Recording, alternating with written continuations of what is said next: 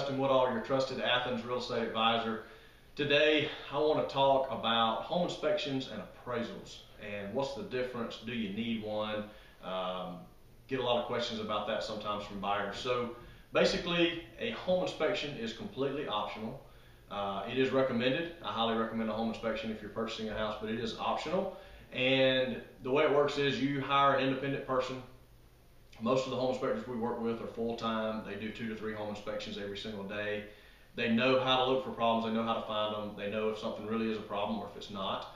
And what the home inspector does is he's going to go uh, do a thorough evaluation of the house. He's going to check plumbing, electrical, heating and air. He's going to go up in the attic. He's going to go in the crawl space. He's going to look under the kitchen cabinets. He's basically going to he's going to walk around the outside. He's going to look at the roof. He's going to check everything there is to know about the house, and you're going to have a report so you know everything there is to know about that house. Uh, they even report on things that maybe are not problems, but just good things to know, like uh, shut off valves and things like that. So always recommend a home inspection. They're going to range in price depending on the size of the house, uh, typically in the 300 to 500 range.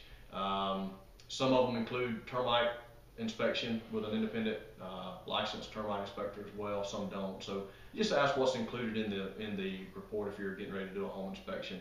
And then sometimes it's, you know, sellers will even do a, a pre-inspection prior to that. Um, but that's typically a home inspection is where they're looking for problems with the house. Appraisal is completely different. The appraisal is done to determine the value or to validate the value of a sale. So what the appraiser does, he's going to go in, he or she is going to go in, walk around the house, uh, take notes, sizes of rooms, numbers of rooms, uh, workmanship, materials used, quality of the home, things like that, and condition of the home. Then they're going to go back, they're going to compare that to other properties that have sold recently in your neighborhood or on your side of town or in your area. And that's and then they're going to come up with an, a value based on the other sales. And they make adjustments for size, for age, for condition, things like that. And it's a really scientific report. The only time appraisal is required is if you're getting a loan. The bank typically will require you to do an appraisal, and the bank will order the appraisal uh, through their appraisal service. So that will be required. You'll be required to pay for it as part of your closing costs if you're doing a loan.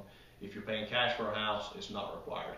So if you're paying cash, uh, appraisal and home inspection is optional, uh, but otherwise only the home inspection is optional. So I hope that helps you know the difference. Again, if I can do anything for you, a friend, family member, coworker, just give me a call.